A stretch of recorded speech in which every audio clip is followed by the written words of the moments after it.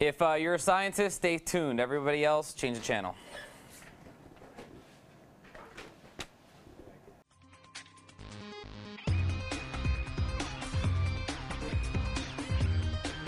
All right, so this one's for you guys that are into uh, gas exploration and weather forecasting and compiling code and uh, predicting which way the stock market goes using ridiculous programs and APIs using CUDA.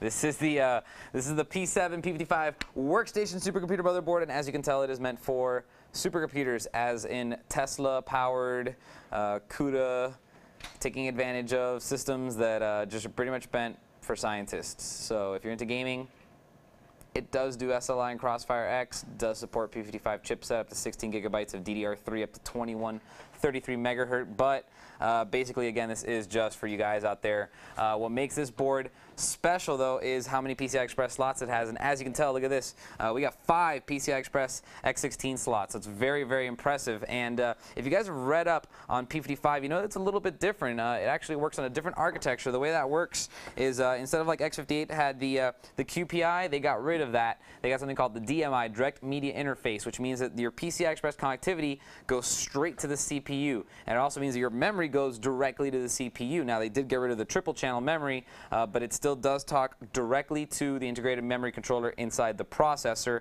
Uh, the chip down here, this is actually the P55 chip itself, and that's a new type of chip. It's called a platform uh, controller hub, and basically that controls everything else on the board, your Ethernets, your USBs, uh, your audio, your everything else is going to go through this. Um, now, how did they get a chip that only supports 16 lanes of PCI Express to have five PCI Express X16 slots? Like, how is that going to work? I mean, is it going to be like X1, X1, X1, and then X8, X8? That wouldn't be very much fun. I'll tell you how they did it right here. See this? See this chip right here? Looks like the North Bridge. Well, there is no more North Bridge on P55. It's a two-chip solution. There's this chip and there's this chip, and that's it. So you know what this is?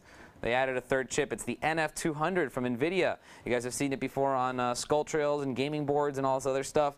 Basically, turns 16 lanes of PCI Express into 32 lanes of PCI Express, in turn doubling it. Now, on top of that, uh, there's still more connectivity. There's more PCI Express connectivity on this board, and that's because they figured out a way to bridge it over to P55 and use P55's bandwidth to send even more PCI Express connectivity. So what basically is going to happen on this board is people are going to be loading it up with Tesla cards, uh, maybe three or four Teslas, and then they're going to use a Quadro uh, to get their graphics output out of the computer to their monitor. So that's what this board is basically designed for.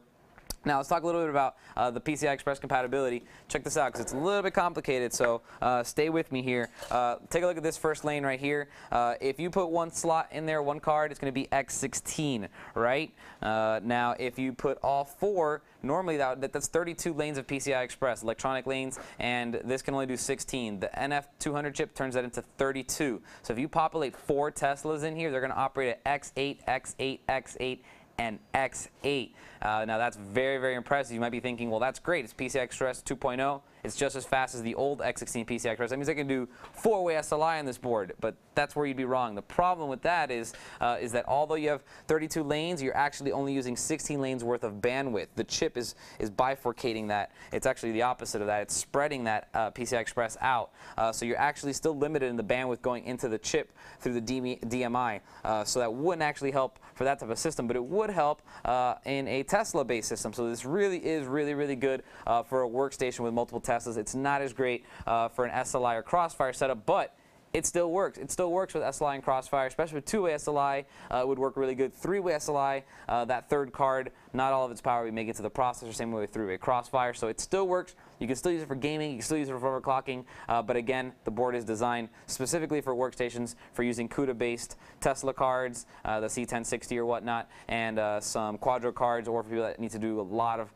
big, very large monitors, uh, things like that. It is called the supercomputer for a reason, and that's because you can get like four teraflops of computing power on a computer that fits inside of a case versus having to rent time at a, uh, at a huge array somewhere, some supercomputer that's going to cost you millions of dollars. You got to get on a list and wait. This way, uh, scientists can get to work at their desk. They don't have to wait for their uh, time to come up on the supercomputer that's really busy. Everybody wants to use it. They get to use it right away. Now, uh, there's a lot of other really, really cool features uh, on this board, and let me show them to you. I'm going to start off with the back panel. I want to show you what kind of connectivity you get on here. Uh, you get two PS2s uh, right there. You have eight USBs uh, 2.0s uh, on the back here in total, so that's a lot. You get dual gigabit Ethernet. You also have a FireWire port right there, uh, SPDIF in both coaxial and the optical version right here, which is the digital. You get uh, 7.1 channel HD audio uh, right there, so if you want to listen to some